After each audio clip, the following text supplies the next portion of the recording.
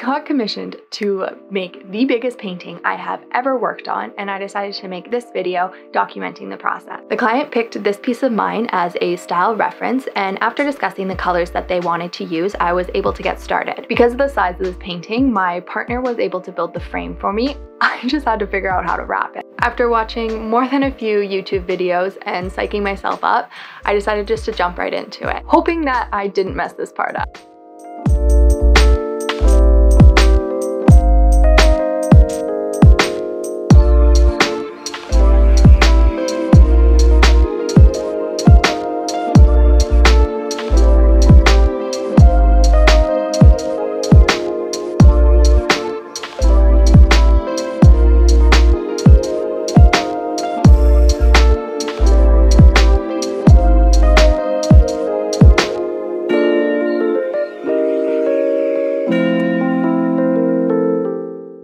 To trim the canvas closer to the size I needed, I cut a small slice on the edge and ripped it like fabric. This kept the edges nice and straight while I made it smaller.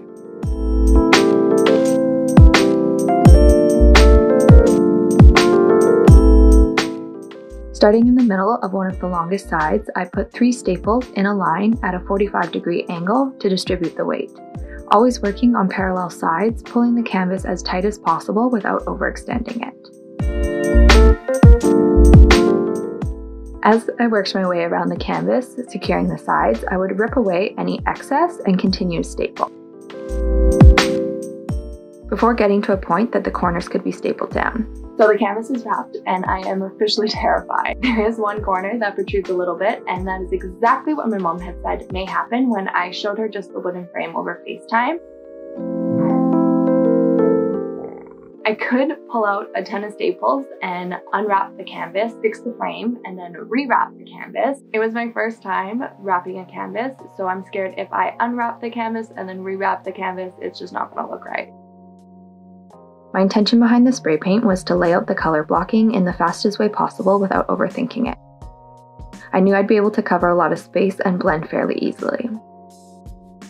I did spend a good amount of time staring at the painting before getting it to a level that I was happy. Using the unmixed acrylic paint, I went in with a damp sponge and started giving depth, blending out the edges. At this point, I wasn't concerned about detail, I just wanted to start building it up.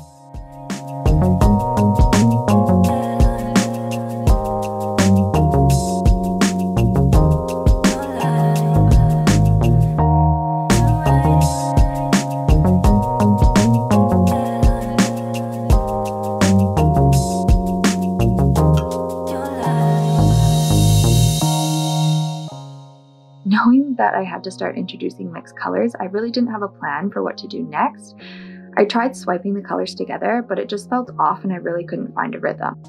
It was also damaging the layers underneath, so I knew that I had to pivot to something else.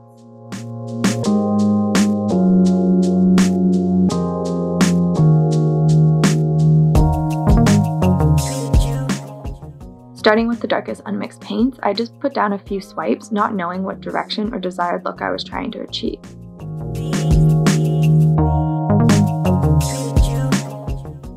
As I moved on to the lighter colors, a style or method was developed and I became more intentional with the strokes.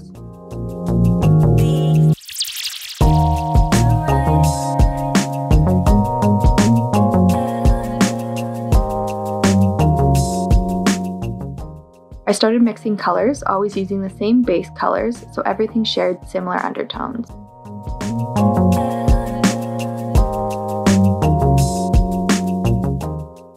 Staggering and stacking the colors on the paintbrush seemed to work well. I also let the paint build up on the brush as I worked with the two colors.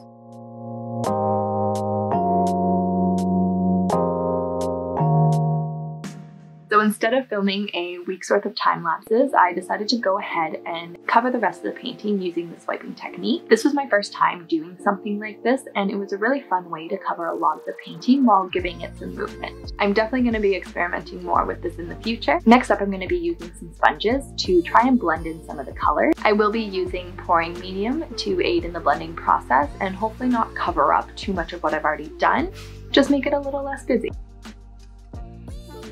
I did like this technique. It was easy to diffuse the colors into the pouring medium. It does dry with a glossy finish, but I find that's going to be okay because I will be applying a gloss coat in the end.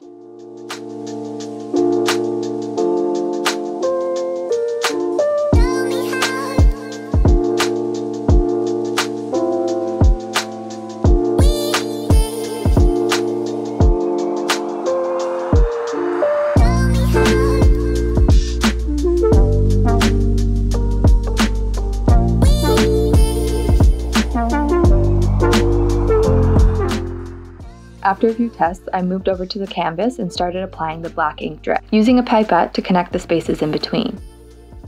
Working in layers, letting them completely dry.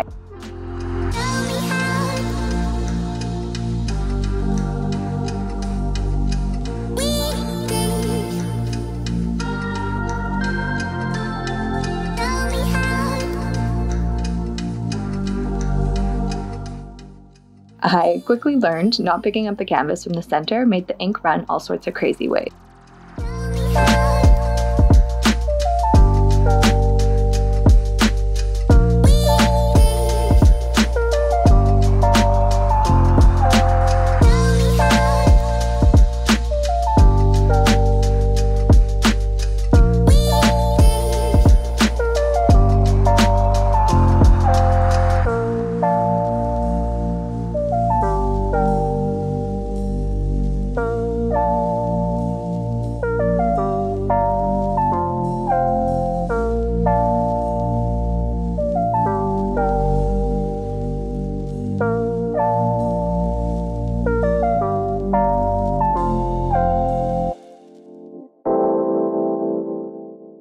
Soon realizing this was going to take a lot of layers and drying time.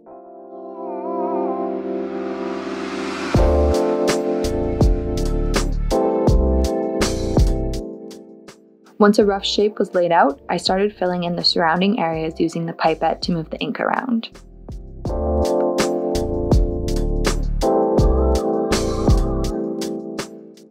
I do like the effect of dripping ink down the canvas, but I always underestimate how long it takes to actually achieve. Working on a canvas this size is definitely new to me, so saying that this took many hours is no exaggeration. I did quickly learn that one must lift the canvas from the center to prevent the ink from running at an angle, so it's definitely not perfect, but I am ready to move on to the next step. I started by laying out some sticky notes in the general shape that I wanted to pour the paint in.